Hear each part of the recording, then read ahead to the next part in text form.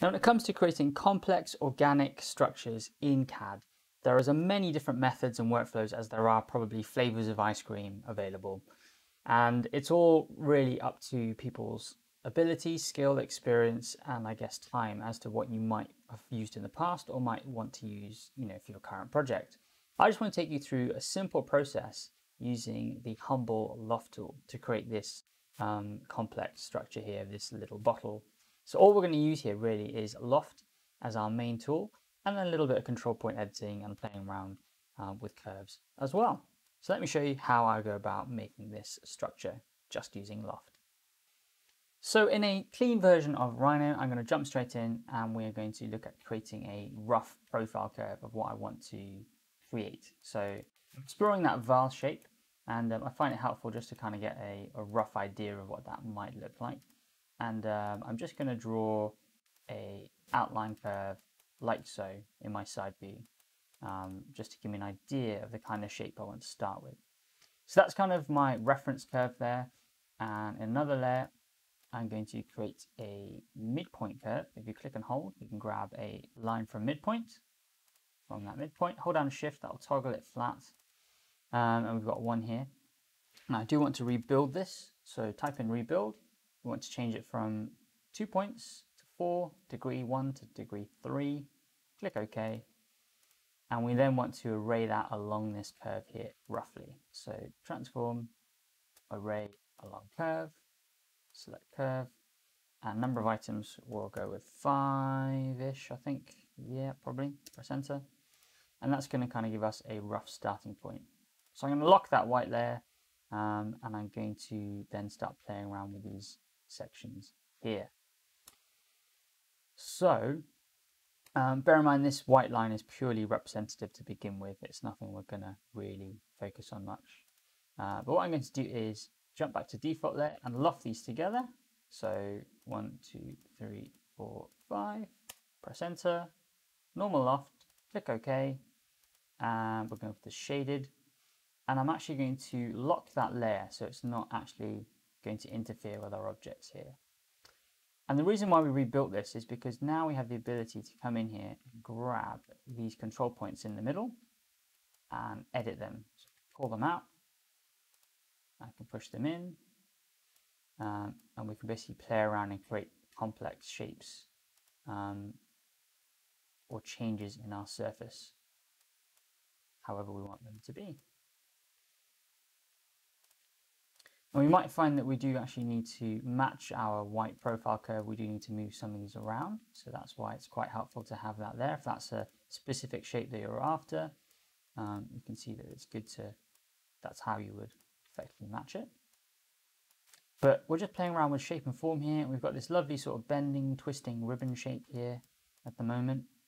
Um, and I'm just going to adjust the width at the bottom as well, just so we get some taper. Oh, was not expecting that to happen. Go. And from here, I think we're ready to revolve it around and see how that's going to affect our shape. So there's our loft, there's our curves. It's going to hide my curves, grab this surface, unlock it, and transform, array polar, center is going to be zero, press enter, Number of items I want is going to be 12 and press enter again. We get a preview and you see we get that arrayed nicely around. Now we do have a slight issue here in the, in the middle at the top where our surface is kind of um, intersecting itself. So in order to get around that, we're just going to decrease that width. One thing I should have mentioned right off the beginning is that this is all dependent on record history working. So if you don't have record history, um, turned on, um, you won't get that update with your loft, in which case you have to keep redoing the processes and the steps. Uh, but just make sure that's active and then all of that should work for you fine.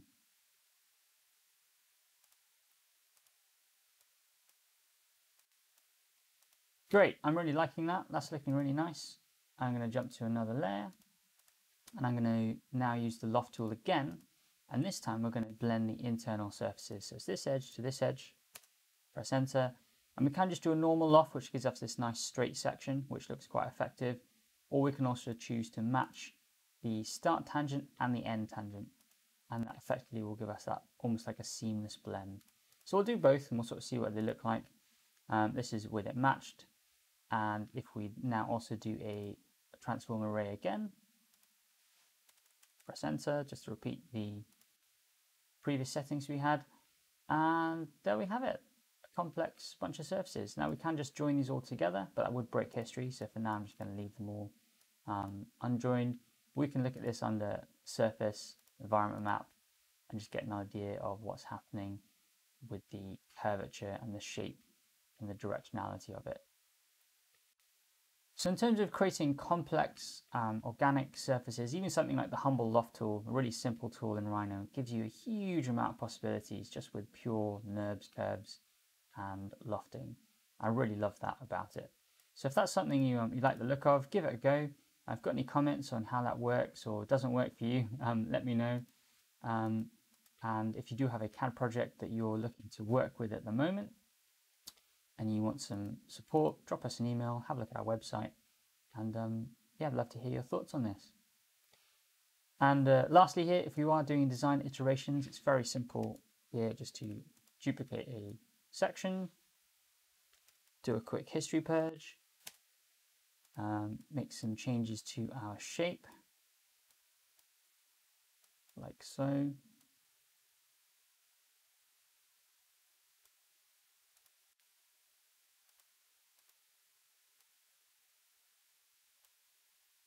So completely reversing the direction of it.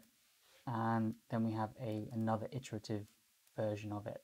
So it's very, very simple workflow, you know, with history to quickly iterate um, and create really complex objects. Um, and of course, we could then go on and look at rendering this and um, 3D printing it and playing around with it as well.